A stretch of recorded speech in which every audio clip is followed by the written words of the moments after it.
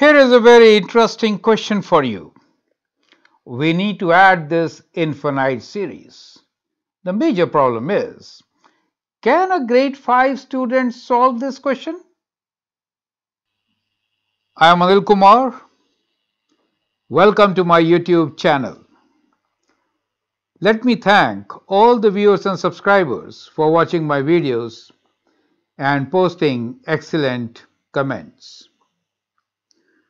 Because of you, the channel has grown to this level and we are able to provide solutions to some very interesting questions. Here is another problem. We need to add the numbers which are half plus 1 by 4 plus 1 by 8 plus 1 by 16 plus 1 by 32 and so on. This series extends to infinity. You can always pause the video, answer the question, and then look into my suggestions.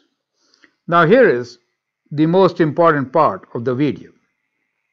I know this question is very simple for grade 11 students. However, think about a grade 5 student answering this question. What should be our approach so that we can make a grade 5 student understand the solution of this sum of infinite series. So that is the major objective of the video. So we'll discuss our approach for students at different levels. That's the key to it. So as you can see that this question can be solved or we can find the sum of infinite series using a simple formula which is known to a grade 11 student.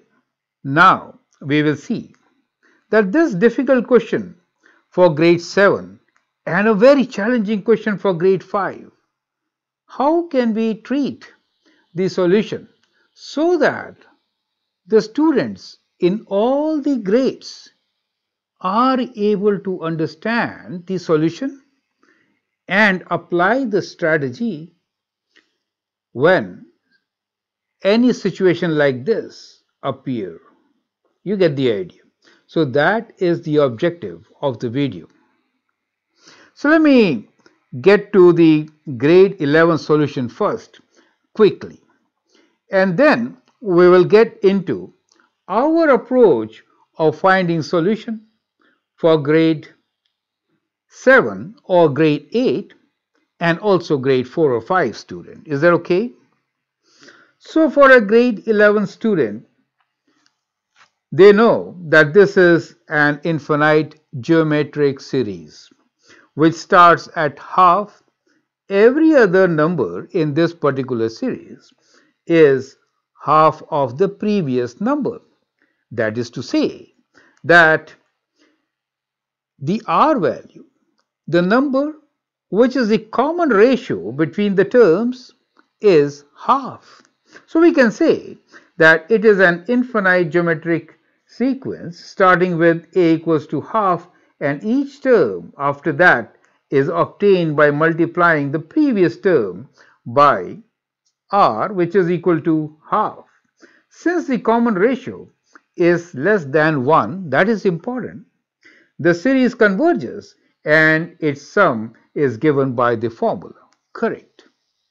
So basically, for a geometric series, the sum can be found by the formula a times 1 minus r to the power of n divided by 1 minus r.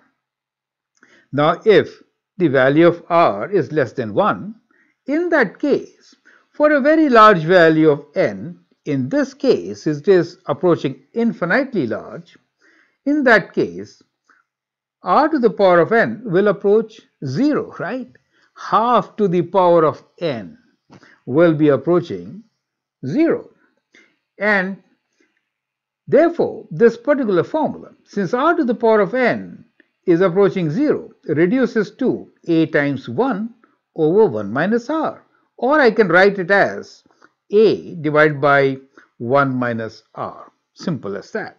Now a is half for us in this series and it is being multiplied by half. So I could substitute the values half divided by 1 minus half and that gives me half over half and the answer of 1. Now let us see how can we explain this solution to a middle school student or a junior school student. That is the main objective.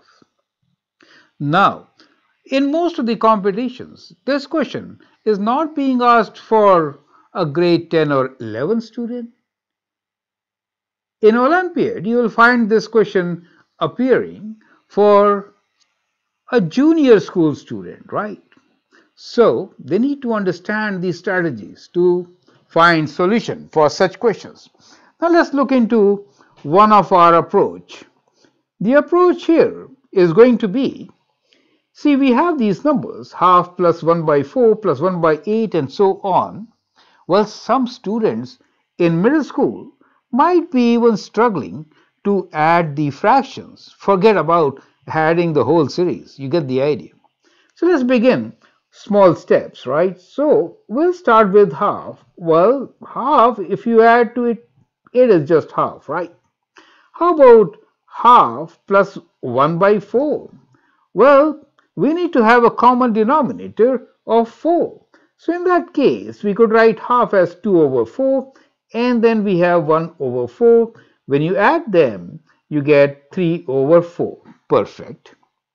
Now let's try to add three terms, that is, we'll add half with 1 over 4 and 1 over 8. Well, the common denominator, which I can also write like this, 8, in that case, the terms will be, first term should be multiplied by 4, we'll get 4 here, and then the second term by 2, and here we have 1. 4 plus 2 is 6, 6 plus 1 is 7, so we get 7 over 8 as the sum of three terms. Well, if I extend this, then what? I have half plus 1 over 4 plus 1 over 8 plus 1 over 16. And now the common denominator is 16. To make this 16, I have to multiply the first term by 8.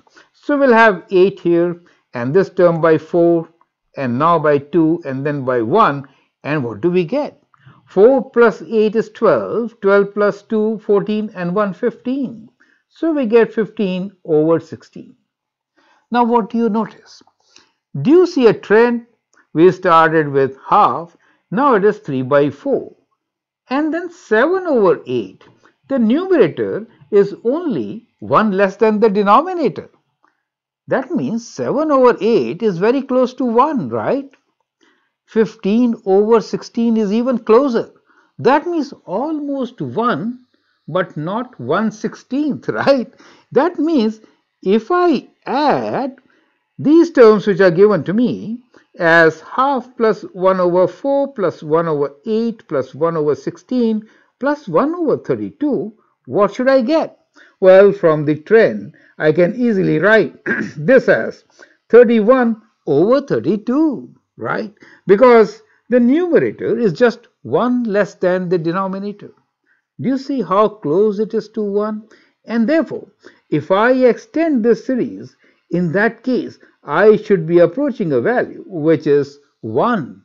And so, I should expect, or rather estimate, the sum of this series as 1. You get the idea, right? So that is how we are going to provide the solution, right? So here is a neatly written down solution for, for us. Let's review what did we do. We started with half, then added 1 by 4. And then when we add 1 by 4 to half, we get 3 fourths, which is 1 fourth less than whole, correct? Now we added 1 by 8 also. Then the three terms add to 7 over 8. 7 over 8 is almost 1 but one eighth less. Now we added four terms 1 over 2 plus 1 over 4 plus 1 over 8 plus 1 over 16.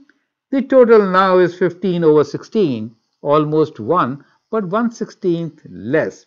And if we continue like this, we see that the value really approaches 1, right? So if I go ahead with the same trend, then adding 1 by 64 will give me 63 over 64, right? Do you see how close it is to 1?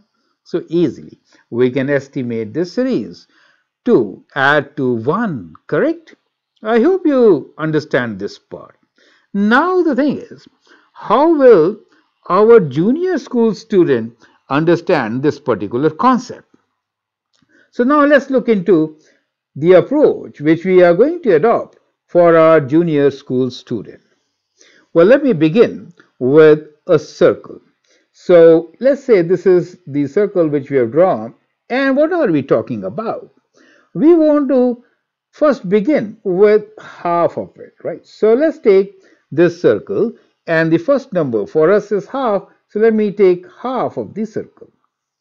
Okay, now we want to add one fourth to it. One fourth is half of half, correct? So the remaining half, I'm making half of that, and that is one fourth. Perfect. And then one eighth is being added. To add one eighth, what can I do? I have this one fourth. I will do half of that, and add 1 by 8 will now be added. You see that? So we are gradually adding each number one by one. And now adding 1 16th really means that split this into two halves and that becomes 1 over 16. And if I move further, 1 over 32 will mean that I have to split this further and so we get what? 1 over 32. Do you see how we have filled up the whole circle? we started with half, right? So we started with half, that is half for us, and now we added 1 by 4 to it. So we added 1 by 4 to it, and we filled up 3 fourths of the circle. And then we added further 1 eighth of it, and we further filled it up. Only 1 eighth is remaining to be filled. Then we again filled it up by 1 16th, half of 1 over 8. That means we are left with 1 16th only. And then finally, in this particular case, we also added 1 by 32. Now, if I go on adding like this, what will happen? We'll fill the whole circle. Do you see that?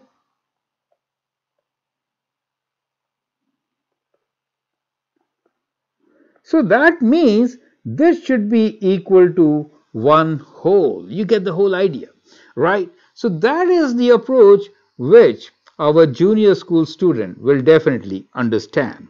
So here is a visual look of what we did. So we started with a circle and in the circle we filled half of it. So this is the half which we filled first. So we got this half of it. Let me just shade this up, right? Okay. So that is the half filled. And now we made half of half. Half of half is one fourth. And if we add them, we can kind of shade that also, correct? So you see, three three fourth of the circle has been already shaded. Now half of one fourth is 1 over 8 and adding them up is kind of shading that also, right? So we have included 1 by 8 also. So we have added the first three terms, half, 1 by 4 and 1 by 8.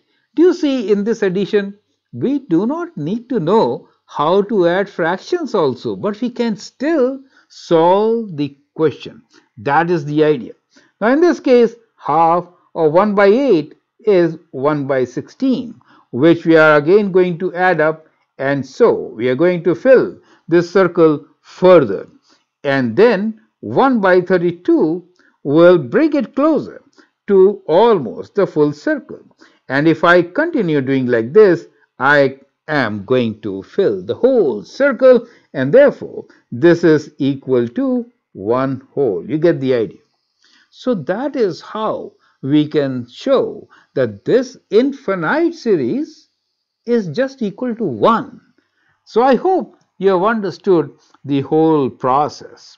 And with that, we come to the conclusion that the questions which we are looking at These questions can be asked at any level and we should be in a position to make our students understand their solutions at any level. That is the whole idea and that's the reason why my students are doing so well. I'm very happy to share with you this particular approach and I hope some of you will adopt it. Thanks for your time and if you like the approach, you can always subscribe to my videos and learn more. Thanks for your time and all the best.